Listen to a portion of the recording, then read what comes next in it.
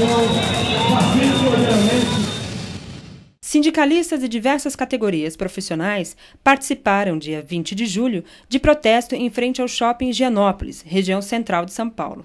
O ato visa impedir o fechamento de shoppings e preservar mais de 60 mil empregos diretos. A manifestação foi convocada pelo Sindicato dos Comerciários de São Paulo e pelo Sindicato dos Trabalhadores em Restaurantes, o Sintoresp. Patá, seria uma medida muito drástica fechar o shopping, você não acha? Eu acho totalmente desequilibrada, inoportuna, em especial no momento que nós percebemos que o comércio e serviços no Brasil é que tem dado sustentabilidade econômica à nossa nação. A alegação da prefeitura é de que faltam vagas de estacionamento. Agora, o trabalhador não tem nada a ver com isso.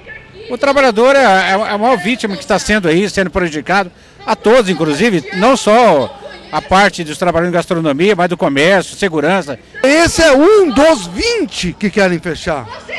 São 60 mil pessoas que estão com insegurança laboral. Além do Gianópolis, houve manifestação nos shoppings Frei Caneca, Paulista e Pirituba. É manifestação hoje, manifestação